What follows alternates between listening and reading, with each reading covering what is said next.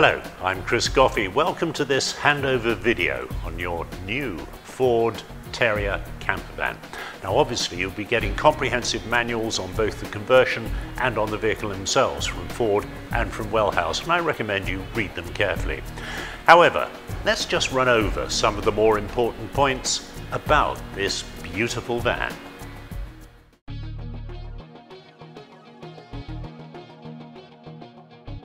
So points to remember when you're raising the roof. First of all, detach the sound deadening panel off its Velcro strip. It's there to reduce wind and road noise when you're driving along. Let it hang down. Next, remove the two safety straps, turnbuckle the catch and release the two catches, and then simply push the roof up. It'll go up on its gas assisted struts. And then push the bed up into the roof itself and you're ready. Finally, roll up the sound deadening panel and clip it in place.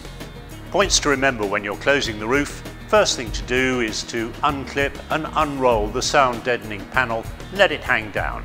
Make sure there's a door open to release the air pressure as the roof comes down, stop the canvas billowing.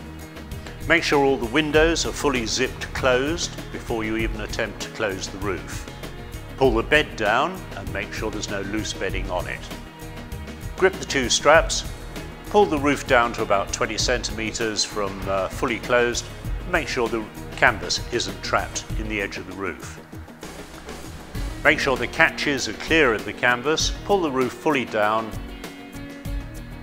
attach the hooks and then turn the buckles through 180 degrees to make sure the roof is fully clamped down. Finally, attach the safety straps.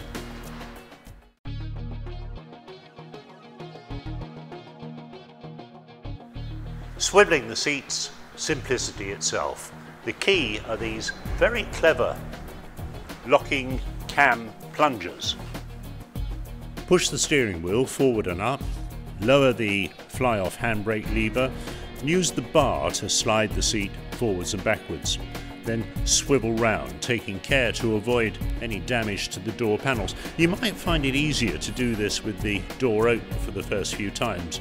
Practice it and make sure you can do it easily on a dark, wet and cold night.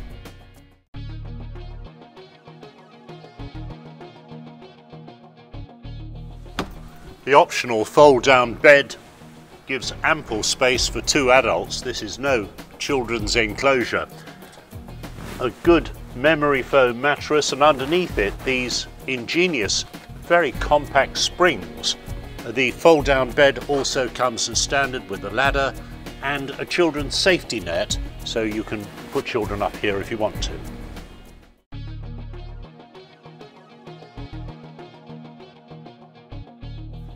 Installing the table, again, simplicity, swing the arm out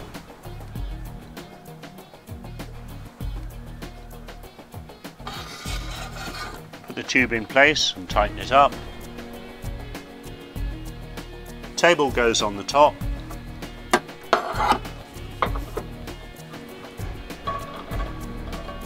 And screws in place. And with the table in place, you can then simply adjust the seat so that all four people have easy access to the table. It's completely convenient.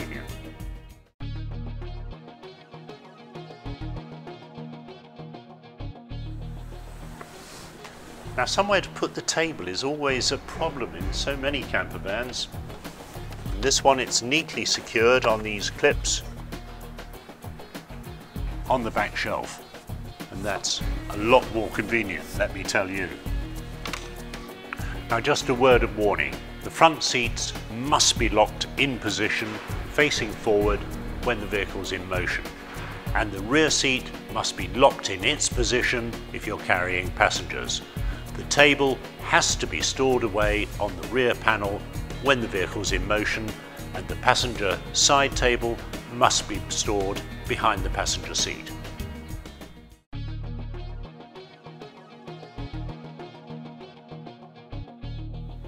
A useful optional extra if you're often carrying children or old people the electric step.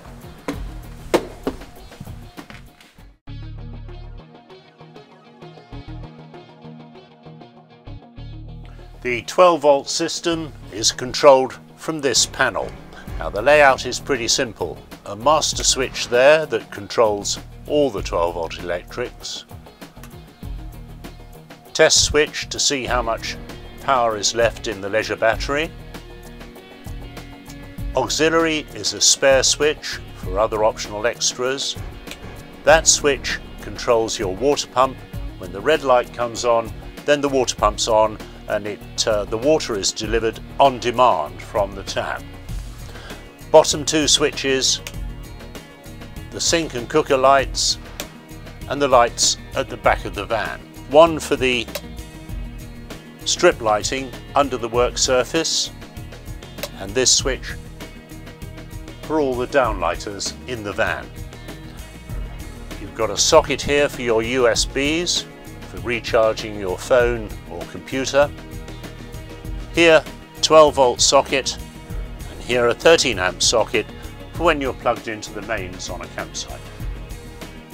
If you've opted for the Webasto cabin heater and from personal experience I can say it's well worth having, a simple control here on the control panel, simply turn it on and set it to the desired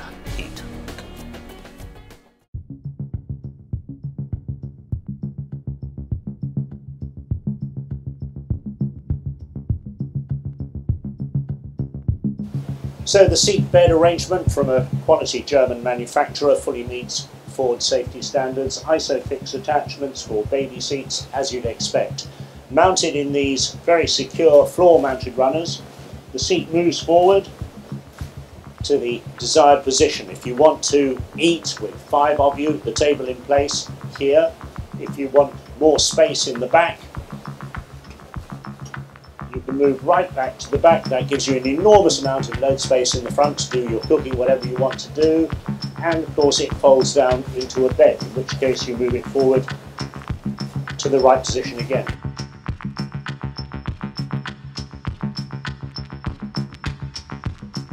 Now once you've decided which position you want the seat in, especially if you're travelling, it's important to lock it securely in position.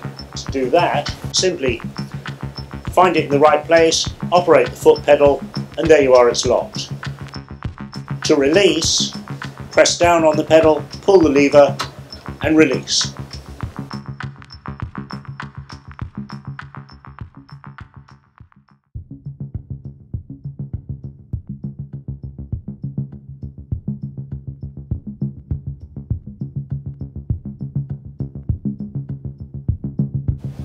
When it comes to converting it into a bed at night, simplicity itself, fold down the rear portion, lift the trailing edge and pull forward. This then swivels out, pull the release lever and that folds down. You've got a nice soft comfortable mattress. Putting it back, of course, a reverse of the same procedure.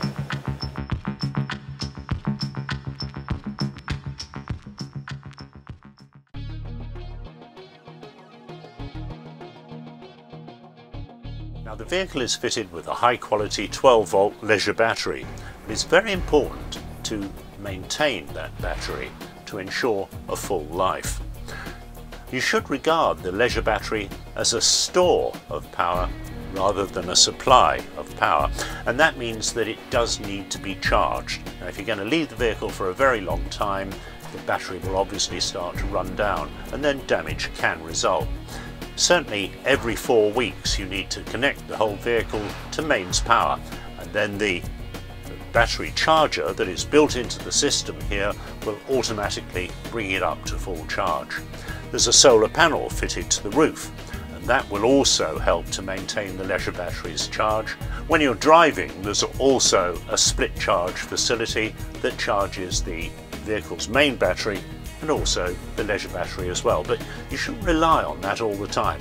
Make sure you've topped up the leisure battery from time to time.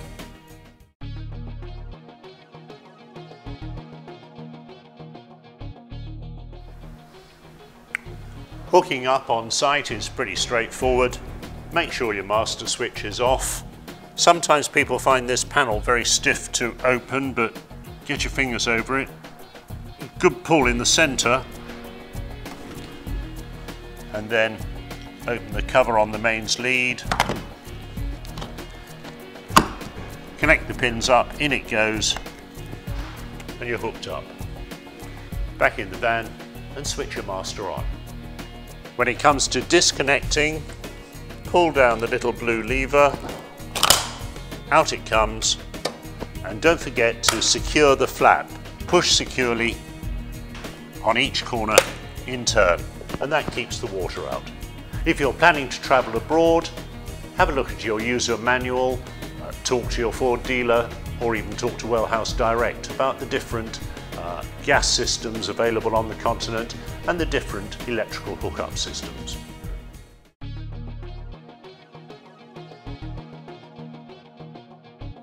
Fresh water, of course, very important in any camper van. You have a generous 40 litre freshwater tank in this van.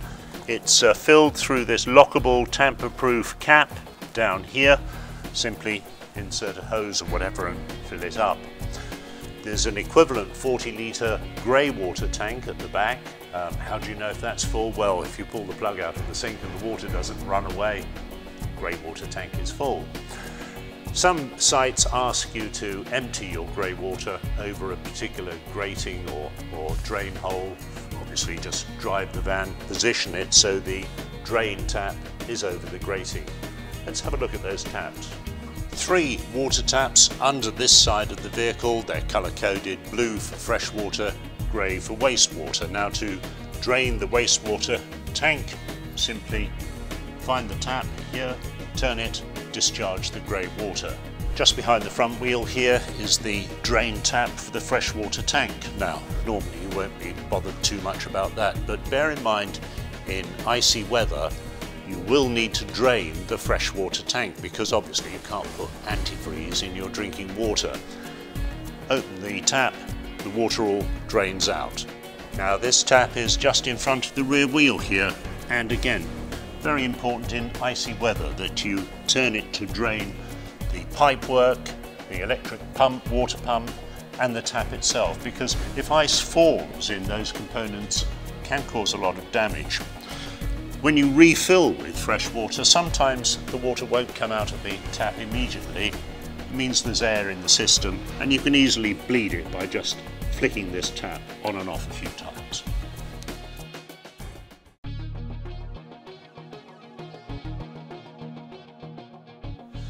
Van comes with a generous 6 kilogram gas cylinder stored in this compartment that's enough for a, certainly an extended continental trip. There's a vent here. There's also a vent on the far side of the load space in the event of any leakage. Make sure that you don't cover that uh, vent. You'll notice there's a, a clever little porthole on the side here and that means that you can put your hand in and turn the gas off. It's important to turn the gas off when you're travelling. It also gives you access to the cylinder even if you've packed the rear space. Changing the gas cylinder itself is pretty easy. Undo the strap,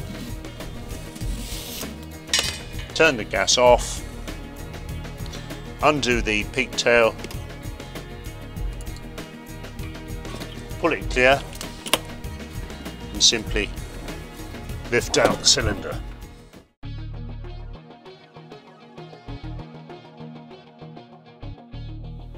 So a quick run through the domestics on the inside of the van. Generous 40 litre fridge with an ice compartment. It's also got a setting so you can leave the door slightly ajar when the fridge is off and that means no mould grows inside. Uh, the fridge operates when the engine's running and when the master switch is on but if you want to switch the fridge off independently obviously control inside to switch it off and control the internal temperature of the fridge. You've got a a grill, a simple on-off switch and electronic ignition. Down here the porta potty, turn it through 90 degrees just slide it out. Above here,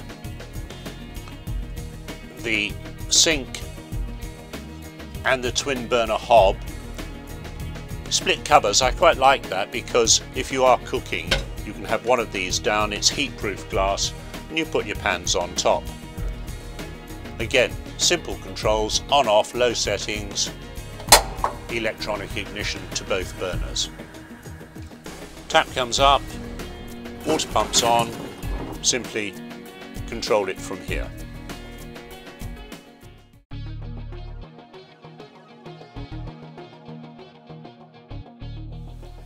Side and rear windows are equipped with these slide out curtains. They run out on runners.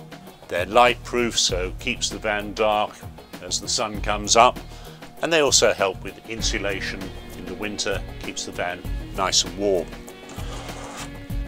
And unlike some conversions, proper Ford factory fit side windows.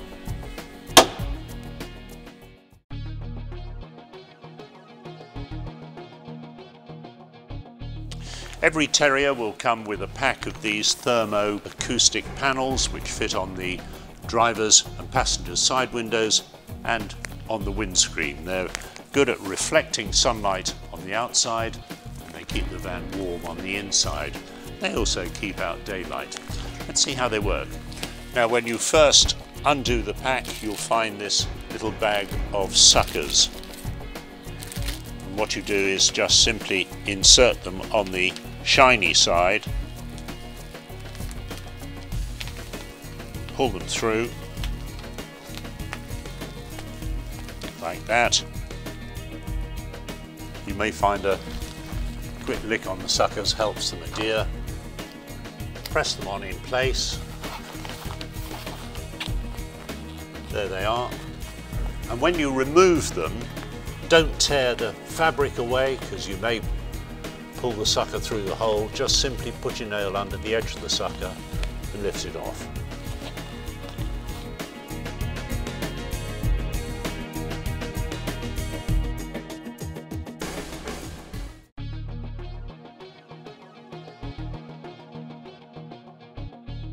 As you'd expect, the electrical systems are protected by standard automotive blade fuses. There's two fuse boxes, one under the front passenger seat and the other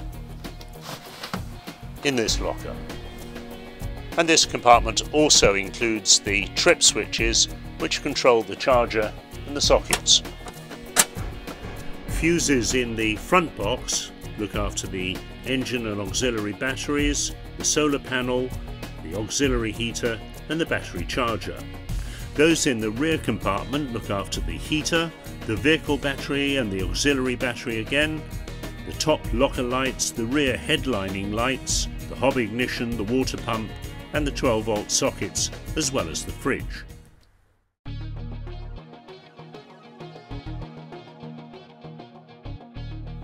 All new models of the Terrier are fitted with a fly-off handbrake. Operation quite simple. To apply the handbrake, pull the lever up and it's set and then simply push the lever down and that enables you to spin the driver's seat but the handbrake is still on and the vehicle won't roll. When you want to take the handbrake off and obviously the driver's seat will then be facing forward, pull the handbrake up, press the button and release. It's as simple as that.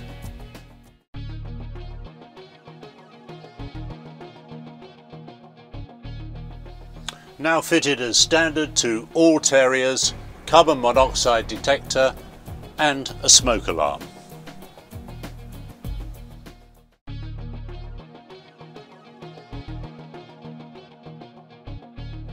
Punctures are pretty rare, thank goodness, in today's motoring conditions, but if you are unfortunate enough to get one, you'll need to know how to change the wheel. First of all, make sure you know where your wheel brace is stowed. If uh, the vehicle's full of gear at the back, well don't despair, you don't need to unload it all. Simply open the panel, insert the sharp end of the brace and you can lower the spare wheel on its own little winch. The jack is conveniently located behind a panel under the driver's seat.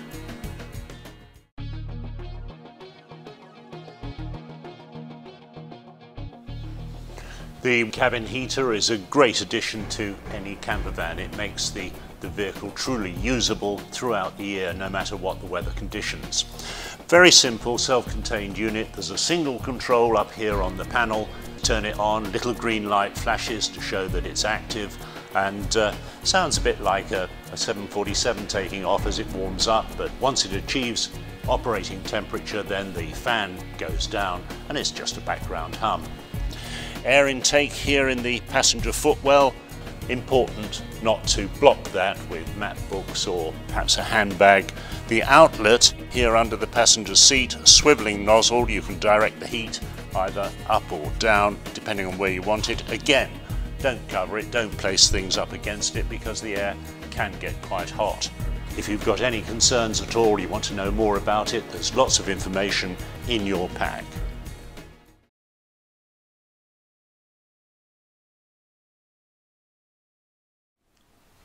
Now before you make the decision to purchase a Ford Terrier, obviously you'll have lots of questions.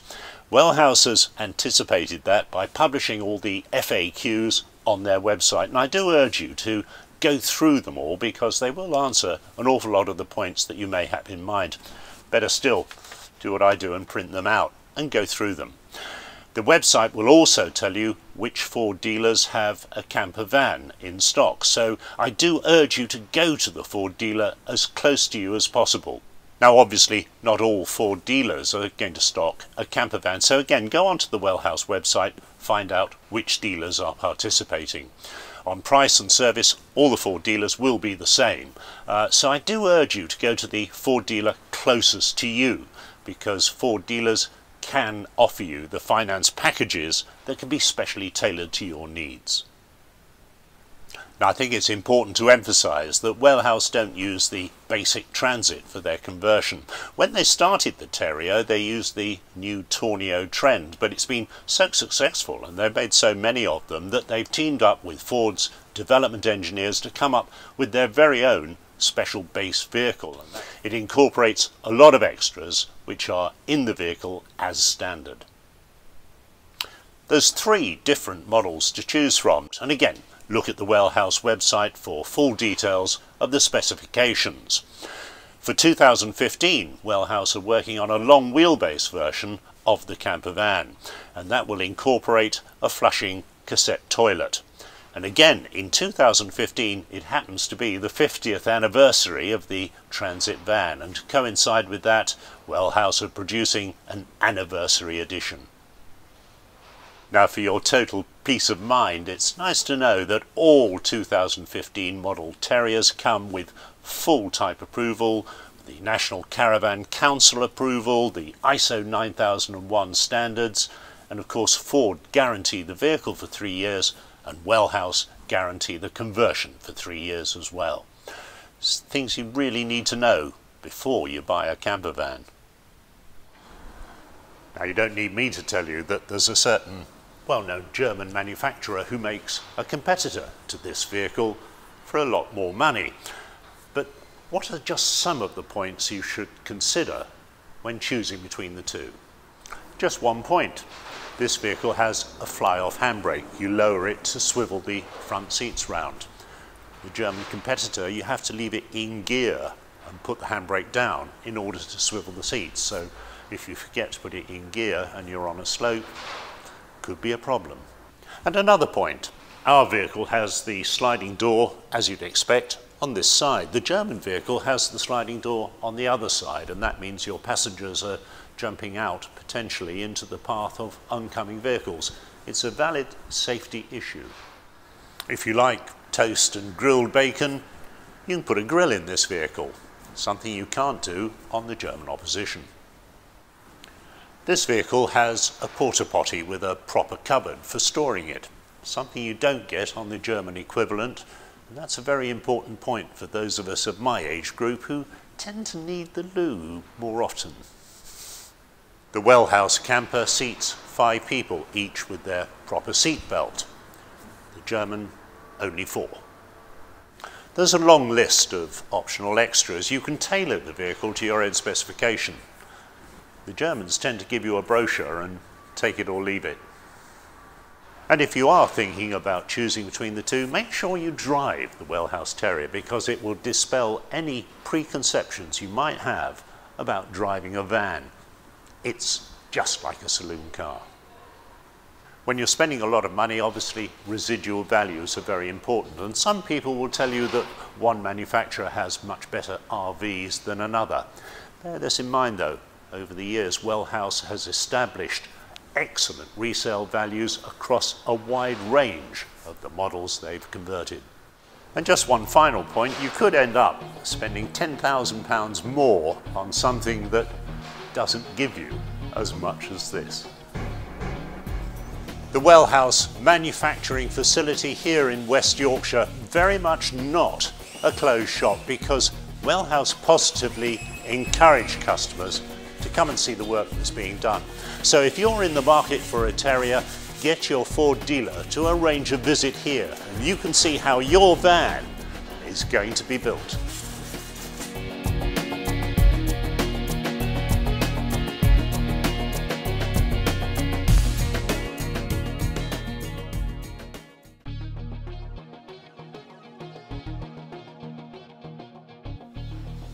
The cabin heater is a great addition to any camper van. It makes the, the vehicle truly usable throughout the year, no matter what the weather conditions.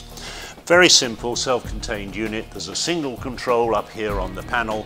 Turn it on, little green light flashes to show that it's active and uh, sounds a bit like a, a 747 taking off as it warms up, but once it achieves operating temperature, then the fan goes down and it's just a background hum. Air intake here in the passenger footwell, important not to block that with map books or perhaps a handbag. The outlet here under the passenger seat, swiveling nozzle, you can direct the heat either up or down depending on where you want it. Again, don't cover it, don't place things up against it because the air can get quite hot. If you've got any concerns at all, you want to know more about it, there's lots of information in your pack.